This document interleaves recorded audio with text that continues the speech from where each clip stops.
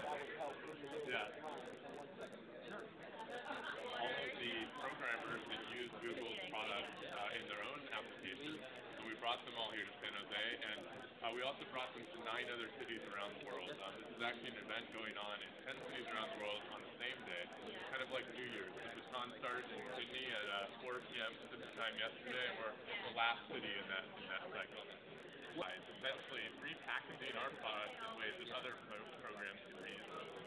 The idea is we have a lot of smart engineers at Google, but there's a lot of smart engineers that don't work at Google. And by exposing our products and services that these people can use, our users benefit by getting all this huge amount of creativity from developers around the world. 200 people uh, for our first developer conference ever on Mountain View's campus, uh, where Google is headquartered. This year we have over 5,000 developers worldwide and 25 times as many products. So this is a short video that I've taken with my cell phone uh, of an impromptu roundtable that uh, we had uh, with uh, co-founder Sergey Brin, uh, with uh, Jeff Huber, who's vice president of engineering, and they gave the keynote just before that.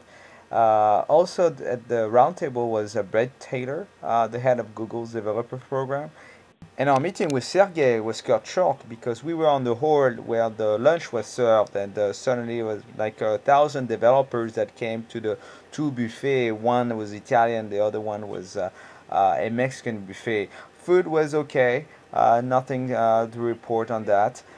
Of course, the food was not as good as uh, we could find at the Googleplex, but well, we're in San Jose. What do you expect? And that's all for now. See you on uberpulse.com.